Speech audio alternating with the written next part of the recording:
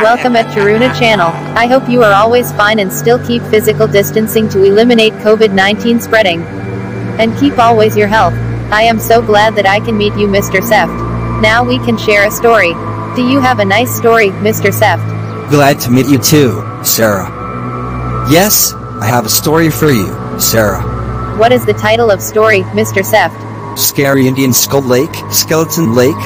So scary. I tell you the story. Himalays have a traditional song that tells of a group of foreigners who make mountain climbing, and they are thought to have polluted a holy place.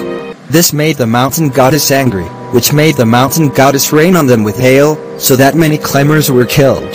Told in 1942, British soldiers found more than 200 human skeletons in Himalayas. The bodies are believed to be the skeletal remains of the climbers who experienced this tragic incident. Ah, it was so sad. Yeah, it made us can feel their suffering, Sarah. And what's next, Mr. Seft? Summer in 1942 caused the Rupkund Lake India to lake, thereby melting the human skeletons that had long been buried there. In 2004, scientists learned that the skeletal remains were from 850 AD. The scientists concluded that the climbers were likely killed by a hard object, and they were trapped and they were killed in the current ice storm.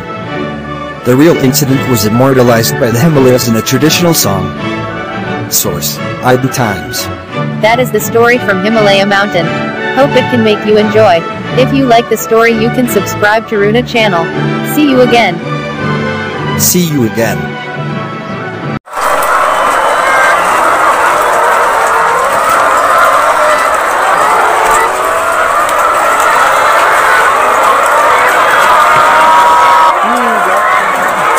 Taruh ke bawah.